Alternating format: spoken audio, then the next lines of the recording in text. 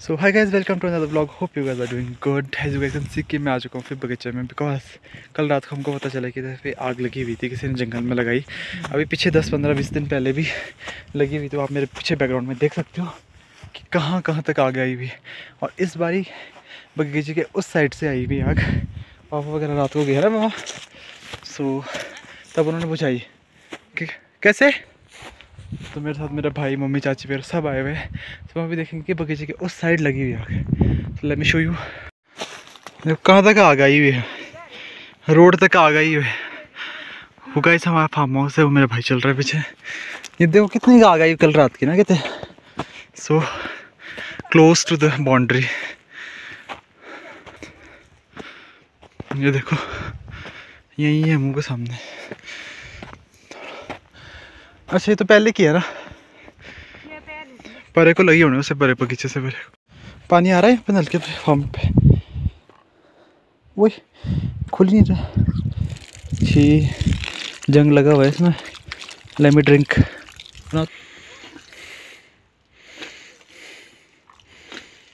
so chilled you want to drink चल।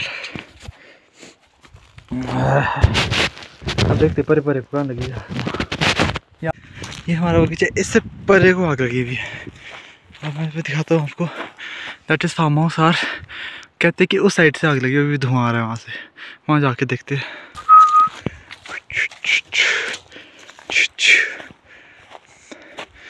बड़े cuts लगे हुए सुपुअर। क्या? आग देखते हैं, पहले चलो। क्या बोले कहाँ है क्या भी में तो होता ही है इसमें। पर ये कट बहुत ज़्यादा है, अगर इसमें ड्रॉट नहीं पड़ना चाहिए अब। इसमें पानी डालना पड़ेगा बर्फ़ नहीं पड़ी। हाँ? उफ, कितना स्मोकी स्मोकी है ना, सारे तक धुआँ पड़ा बचा तरफ़ है ना? कौन? ये काटने ये तो बगीचे के बहुत नज़दीक है। तो आप देख सकते हो कि बाउंड्री टच कर रही है आग। और वहाँ तो धुआँ भी निकल रहा है, पेड़ से, पेड़ किसी उसमें लगा होगा। यहाँ तक आई यहाँ तक बुझाइए कल रात की शायद है ना मामा है? सो नियर शायद इस पूरे घने जंगल में किसी नीचे से लगाई होगी तो ऊपर तक आई है पूरी। ओह माय गुडनेस पेड़ों में भी लगी हुई है साइड तो। क्लोज है मम्मा? बहुत नज़दीक आई हुई आग है ना? किसने लगाई होगी? कौन सा? एसी तो एसी क्या? क्या खत्म हुआ इधर से? खत्म सब। क्या करना? थैंक गॉड अंदर नहीं आई है ना बगीचों को। गुडनेस तो यहाँ तक तो आप वगैरह नकल बुझाई हो गई ना यहाँ घर तक। यहाँ तक तो आई हुई आग। हैं? हैं? है ना? हाय हवा भी चल रही है आज this this is our oldest farm house कितने साल पुराना होगा मामा? कितने साल पुराना है? ये फार्म हाउस काफ़ी टाइम से है ना? यू हैवन डाइट यू तो यहाँ हम इसलिए आते बिकॉज़ यहाँ कभी चौकीदारी करनी हो। चाबी नहीं तो बस फॉर द पर्पज़ के लिए कि चलो। जब चौकीदारी होती है तो शेल्टर ही बन जाए, कभी बारिश हो, कभी कुछ हो तो यहाँ पे रह सकते हैं, थोड़ा सा टिका सकते हैं अपना सर को। क्यों? वो भी हुआ यहाँ से, पूरा गाँव दिखता है नीचे। क्यों?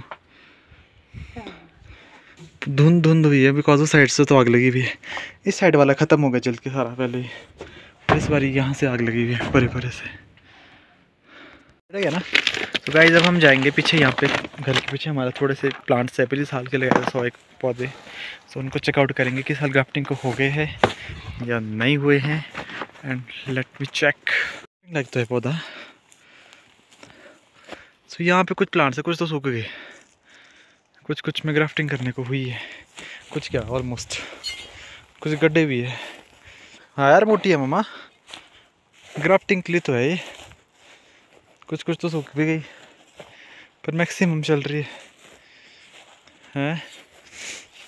यार, एक बहुत मोटी ये देखो कितनी अच्छी हुई है। So that's it for the today's blog guys hope you like the video and video पसंद आए तो वीडियो को लाइक शेयर सब्सक्राइब कीजिए। अब तब तक के लिए बाय टेक केयर इतना ही था आज के लिए बिकॉज़